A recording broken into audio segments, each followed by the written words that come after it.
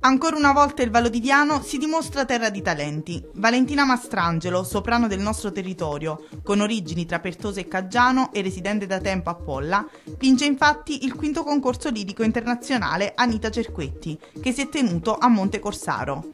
La quinta edizione dell'importante concorso, che si è tenuto all'insegna del ricordo del grande soprano, scomparsa lo scorso 11 ottobre.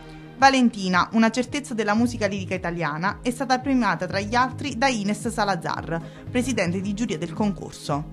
Valentina Mastrangelo, grazie a questo nuovo successo, ha ottenuto una borsa di studio ed è stata scritturata per la prossima stagione lirica al Teatro di Fermo.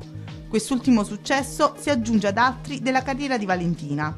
Tra gli altri si possono ricordare la vittoria al concorso Festival della Romanza da Camera a Roma, il trionfo al concorso Città di Caserta Belvedere di San Leucio o ancora si è giudicata la borsa di studio Accademia Lirica Internazionale Katia Ricciarelli e molto altro.